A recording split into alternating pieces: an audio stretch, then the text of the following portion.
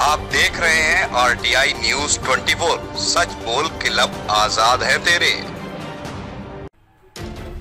श्यामनगर में पुलिस ने पकड़ा सेक्स रैकेट। संचालक व संचालिका समेत नौ लोगों को किया गिरफ़्तार। एक साल से संचालित था सेक्स रैकेट। चकेरी के श्यामनगर में पुलिस ने रविवार देर शाम को छापेमारी कर एक घर में चल रहे सेक्स रैकेट को पकड़ा है पुलिस ने मौके से संचालक व संचालिका समेत नौ लोगों को गिरफ़्तार किया है। पुलिस के अनुसार सेक्स रैकेट पिछले एक साल से संचालित था।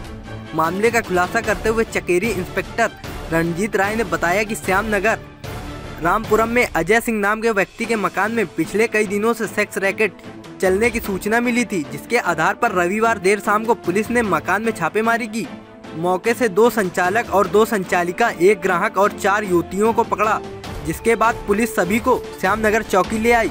पूछताछ में आरोपियों ने बताया कि अचलगंज उन्नाव निवासी राघवेंद्र शुक्ला उर्फ़ राजन और पशुपति नगर नौबस्ता निवासी आशुतोष ओझा दोनों साढ़ू हैं और अजय सिंह के मकान में पिछले एक साल से किराए पर रहकर अपनी पत्नियों के साथ मिलकर सेक्स रैकेट चलाते हैं। राघवेंद्र ने बताया कि उन्हीं के साथ किराए पर बकेवर फतेहपुर निवासी बलवीर की पत्नी ग्राहक लाने का काम करती है, जिस पर उसे कमीशन मिलता है। इसके अलावा पुलिस ने एक ग्राहक लाल कुर्ती कैंट निवासी सत्यम द्विवेदी को भी पकड़ा है। पुलिस ने मौके से आपत्तिजनक सामान को भी बरामद किया है। चकेरी इंस्पेक्टर रणजीत राय ने बताया कि आरोपियों के खिलाफ मामला दर्ज कर कार्रवाई की जा रही है।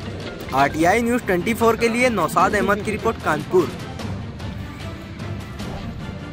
आज शाम को चकेरी पुलिस द्वारा रामपुरवा श्यामनगर चौकी अंतर्गत चल रहे सेक्स रैकेट का भंडाफोड़ किया यह सेक्स रैकेट राघवेंद्र शुक्ला और आशुतोष ओझा नामक दो व्यक्ति थे जो पति पत्नी मिल करके लोग संचालित करते थे।